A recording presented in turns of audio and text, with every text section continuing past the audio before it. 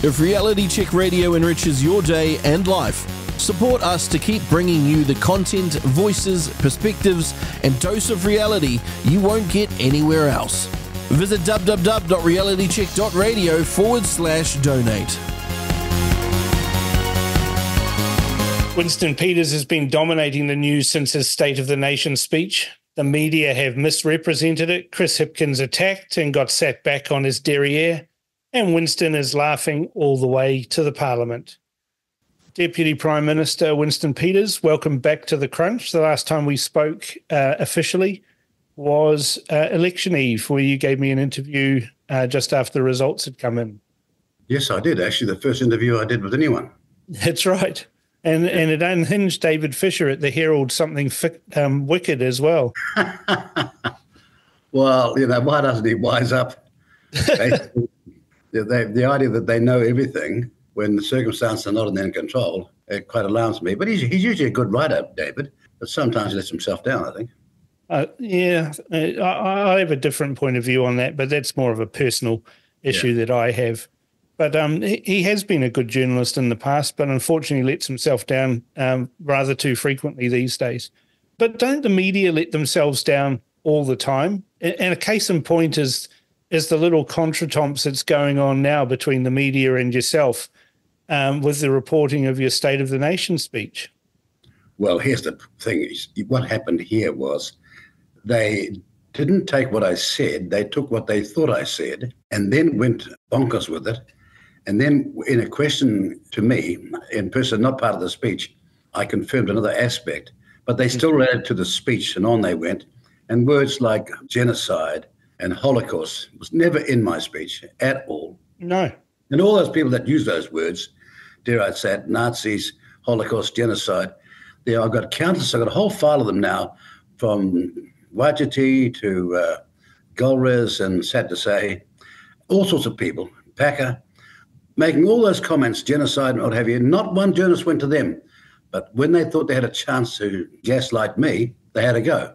But I'm watching the social media. The social media is awful for them.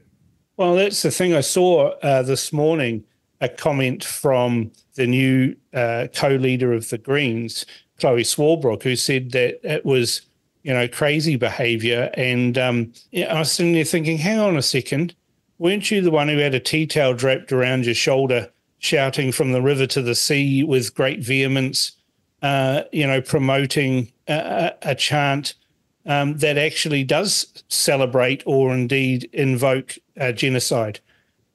Well, after the 7th of October last year, in that appalling uh, terrorist attack on Israel, did she say a word?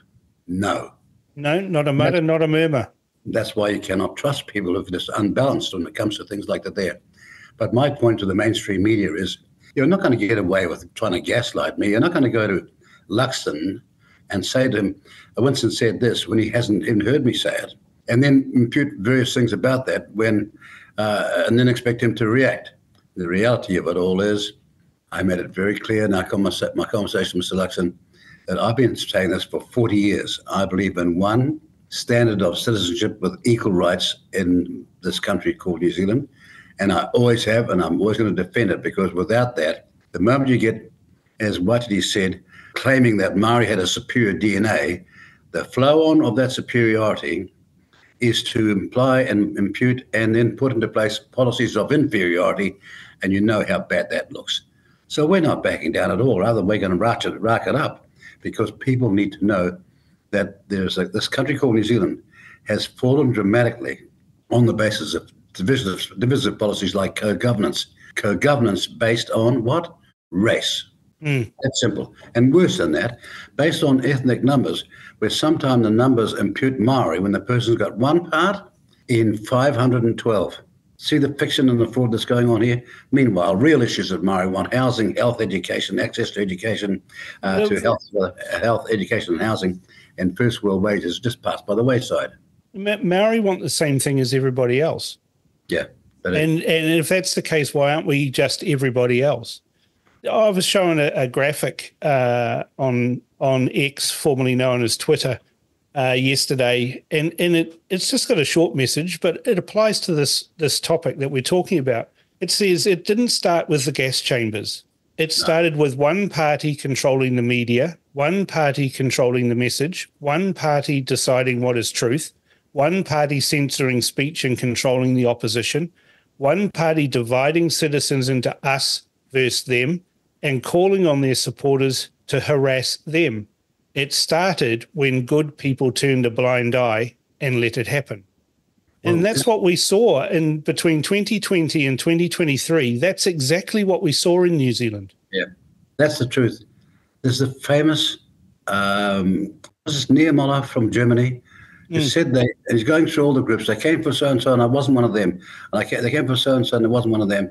And he goes through all the cases and said, and then they came for me, and there was nobody left Yeah. to defend me. Uh, and he wasn't precisely right. So these people are extrapolating their interpretations with no authority or veracity whatsoever. But what's been amazing, I can tell you, but I can't give you the names, but the number of senior experienced journalists have called me to say, stick to it. You're on the right pathway. Don't leave off. Well, that's the feedback that I'm getting. You know, walking just walking on the beach this morning at Takapuna, uh, I had someone stop me and say, oh, "You do you seeing what Winston's doing? He's saying the right thing. This is what what people on the street are saying, or on the beach in this case, are saying." Well, that's the thing. But what is imaged here and is screams it is that you've got people in the media who think that they're so special, that they've got tremendously unique insights, that everybody else out there is a nobody. It's that arrogance that I find quite crushing. And worst of all, that's that arrogance that leads people to not report everything in the marketplace, but only one booth in the marketplace, so to speak. The old, you know, media town crier of the former age saying over here, over here, all these products and over there. No, they're just talking about one product, the one that they support. I was on the AM show this morning, uh, morning show uh, for, for um, TV Soon- One, rather. The soon to be defunct. Well, uh, the thing was, they began with a lie and thought they could stick to it. And so you got to kick back as hard as you can because I was saying your listeners need to know what the truth is, and they're not hearing from you. they wouldn't have liked that. Oh no, no. Well, they were they had that staggered look. How dare he talk to me this way? And I feel like saying, how dare you perform so badly when your producer's going to be watching you and knowing that's not going down too good for you, if you're a medium, that is. Well, you just have to look at what's happening on on on X. You know, Tova O'Brien uh, put up uh, something yesterday uh, on X, and almost every comment on it is, "Why don't you shut up?" Winston's right. That was incredible. It's about nine nine to one. Oh, it's it's terrible. They call it ratioing. She got absolutely Yeah. sl- slammed. I thought they're going to accuse me of doing all the um, tweets and, and all the uh, comments, but I didn't. I just hadn't been referred to there by one of my staff. Said you better go and have a look at that. Yeah, And it's extraordinary, and you know I'm saddened by them because it means that their duration in this in this industry is not going to be for much longer. what was interesting is that uh, the spin-off and Tova O'Brien went running off to the probably the sole remaining living band member of a of a one-hit wonder band, and the uh, guitarist, is the lead guitarist, and uh, tried to create a stink over that. Uh, uh, your press releases show that you got you're having immense fun with all of this, and I particularly like the one where you said you you were going to pick a another song from them, but you found they didn't have any. That's right. But the thing is, here we are at Palmerston North, and maybe they're all respected people outside, but it's preposterous to think all the way there in Liverpool after all those years the band, when it has been disbanded, they had a view. Oh no, they didn't.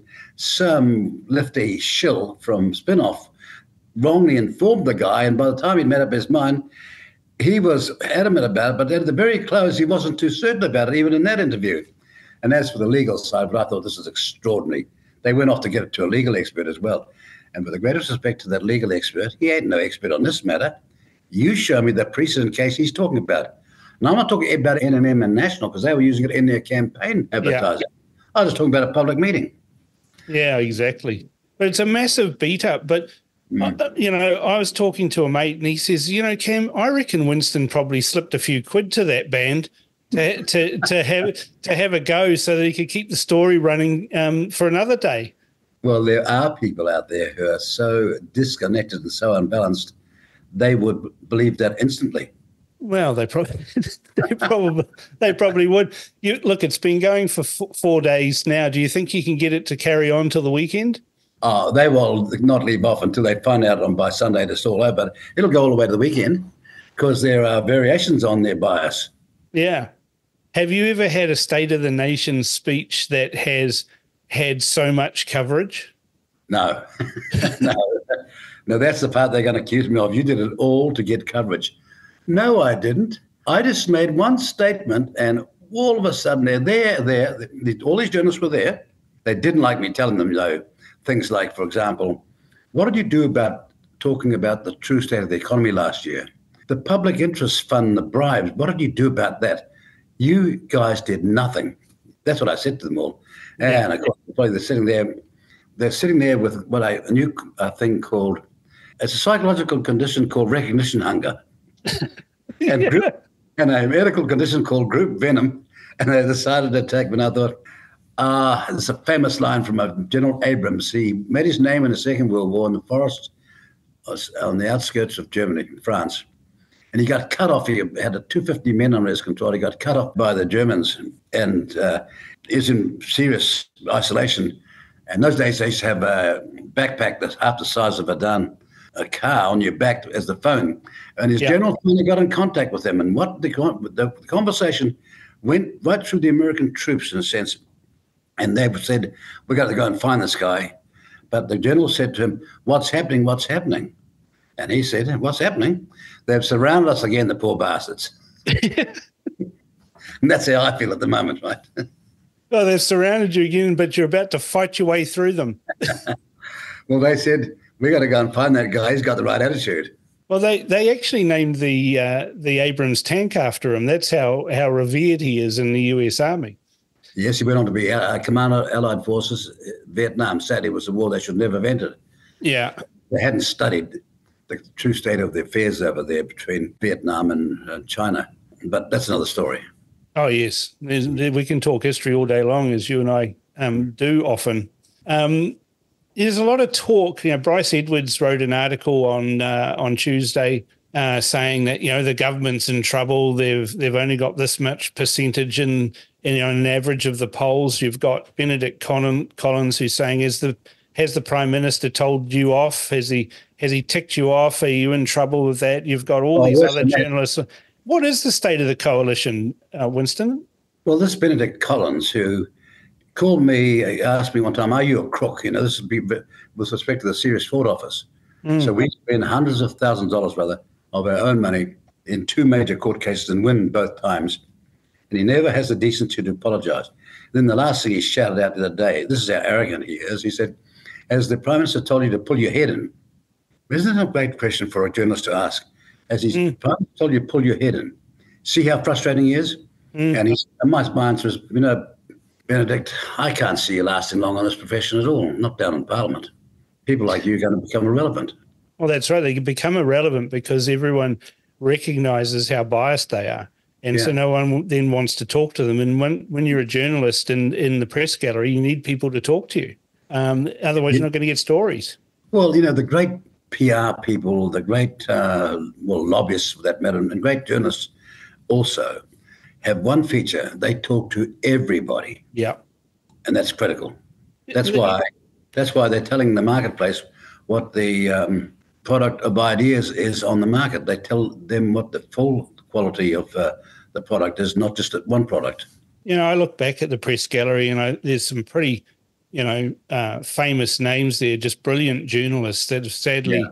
you know, there's not many of them left. In fact, I'd argue there's probably only one left um, and, and he's only working part time uh, at at his job. But the rest of them seem to have no understanding of history, no understanding of how the political process works, and they're running around trying to get somebody uh, yes. on things that are not important. No one in the street cares whether or not Chris Hipkins says that you're you're like the drunk uncle at, at a wedding. But you know, um, no one cares about that sort of stuff. What they care about is how much their petrol costs, uh, whether their mum or their dad can get a hip operation or something like that, whether the teachers are teaching the kids how to read and write and spell things properly. That's what people care about, not these sledges and not these uh, idiotic gotcha type moments. Well, you know, my reaction to Mr. Hipkins is Mr. Hipkins, when you can tell me what a woman is, I'll take you seriously. Yeah. But this is how bad he was. He was asked, Can you, Mr. Hipkins, describe what a woman is? And he said, I'll get back to you. See what's wrong? Totally. Now, as the foreign minister, I've got a bit of an interest in the Pacific, having been born in Fiji. You've just recently come back from a trip to Fiji. How'd that go? It was excellent, actually. It was really quite comprehensive as well. We went to the um, barracks, so to speak. Victoria uh, Barracks, yep. Yes, we, we, went there for a reception they put on. It was huge. Caught me totally unawares. And then I spent some time with uh, a number of uh, um, people over there. But I got a chance to probably meet, well, half the cabinet at one function, which is great, really. And I had to spend some time with Rabuka, who I know, have known for a long, long time and others, and leader, the leader of the um, uh, other political persuasions. I got to see some of them. And all in all, it was uh, reinforcement of the reconnection. And, and we're going to have to do a whole lot more work with Fiji. And of course, the Pacific Forum, the Pacific Forum is there, the Pacific Islands Forum. But we signaled all that. And then since that time, look, I have been to India to talk to their foreign minister, and we talked with them about a program that they've got to set up a hospital in, guess where? Fiji. Yeah. A new Indian hospital in Fiji. And then I talked to the foreign minister for Indonesia on my way back as well. And I was talking about a wide range of subjects, including Fiji. And they're going to work with us together, New Zealand and Indonesia, to put together a project in Fiji. So it's really quite exciting when you think about it. Yeah, because there's uh, uh, been a lot of inroads made into the Pacific by China uh, using, you know, using their cash to curry favor with Pacific nations. And New Zealand and Australia have sat there in, in many respects wagging their finger at at these Pacific nations, whilst the Chinese have been, you know, burying millions and millions of dollars into their own infrastructure. Well, it's been my concern, and it was for some time long in my younger political career, as to the approach being taken by New Zealand and Australia where the Pacific Islands uh, were concerned.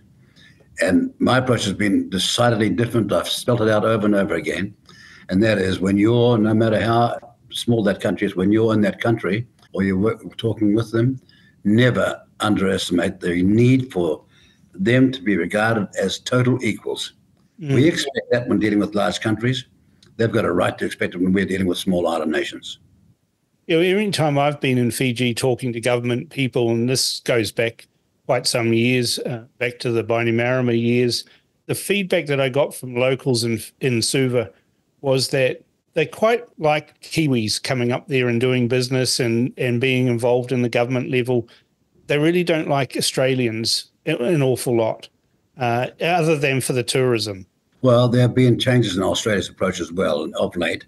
And uh, I've got no doubt that they would have seen Marise Payne, the, she's the previous to Penny Wong foreign minister, they'd have seen a different person, a different approach. But certainly I've sought always to ensure that they could never accuse me of patronizing or coming the senior soldier or, and all those things which we Kiwis hate. Yeah. Should not replicate in our behavior either.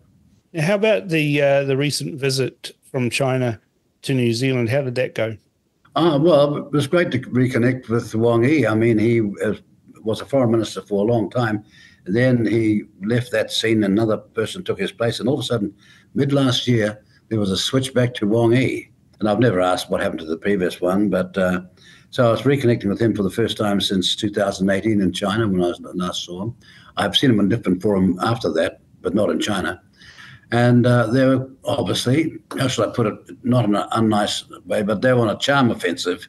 And mm. so we had, a, we had a great discussion about a lot of things.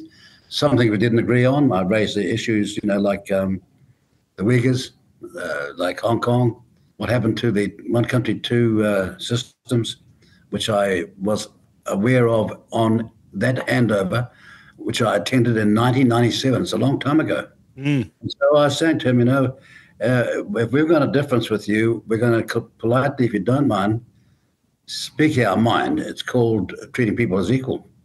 It's funny because I haven't seen any of, that, any of that reported in the New Zealand media anywhere. particularly well, that you raised the the issue with the Uyghurs. The New Zealand media, I got five, six journalists in to tell them specifically what happened. I gave them the time of day early the next morning. Uh, no, guess what they've reported on in the main? They've reported on Foreign Minister Wang is in New Zealand, but he's going to Australia. How do you like that? That was the headline. But I would have thought raising the issue yeah. of the Uyghurs, which is kind of a third rail issue for the Chinese, yes, um, would have been reported. I mean, if if Jacinda Ardern had met, met the Chinese foreign minister and raised the Uyghurs, they would have been waxing lyrical about how she challenged the the, the Chinese foreign minister. You're exactly right. But you know, Wang uh, Foreign Minister Wang got to see Chris Luxon. He got to see um, the Trade Minister Todd McClay. Now you've got to ask yourself, why didn't they think that was was worth covering? This fellow's coming from this huge economy, big population, second biggest population to India in the world. He's in our country, and they didn't think it was worthy of headlines. So it begs the question: Don't they understand that trade is critical to our future?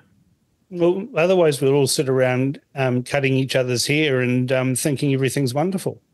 Yeah, and taking each, taking each other's washing and going broke. Yeah.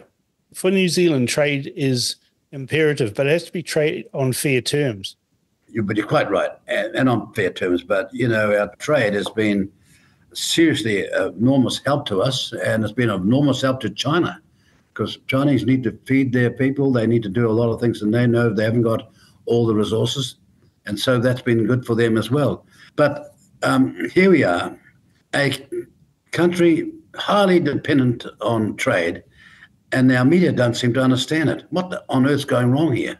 And more when worried about whether or not you used the, the right song or not. Ah, yes, you know. And let me that is the point.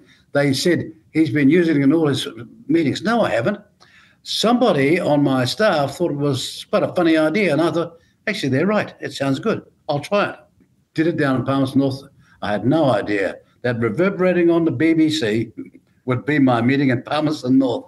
How do you look like that? well, there's not many people can put Palmerston North on the map, and you've managed it. it's hilarious. It's hilarious.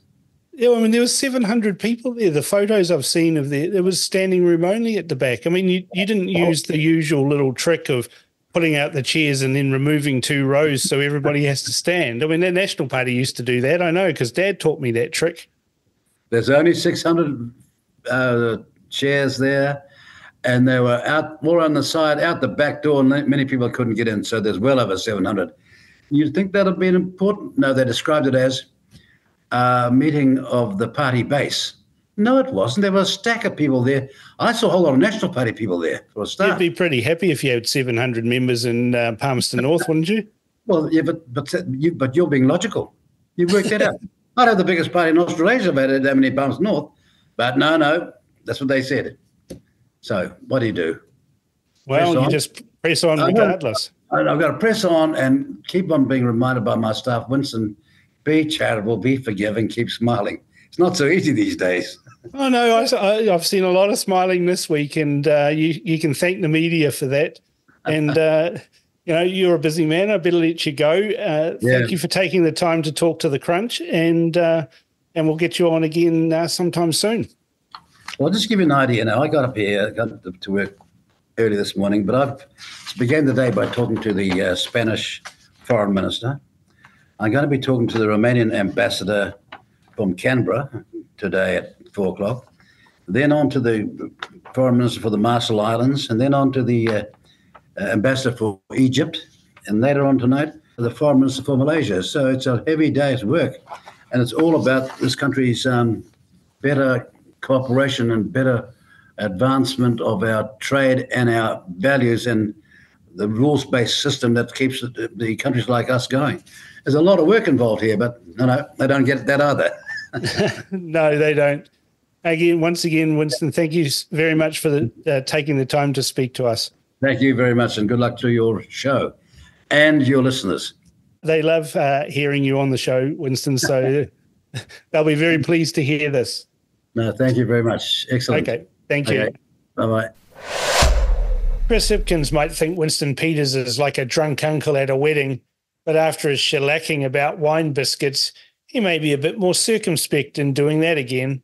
Winston certainly isn't holding back with his contempt for the lying legacy media, and nor should he. Tell me your thoughts on what Winston had to say by emailing inbox at realitycheck.radio or text to 2057. Thank you for tuning in to RCR Reality Check Radio.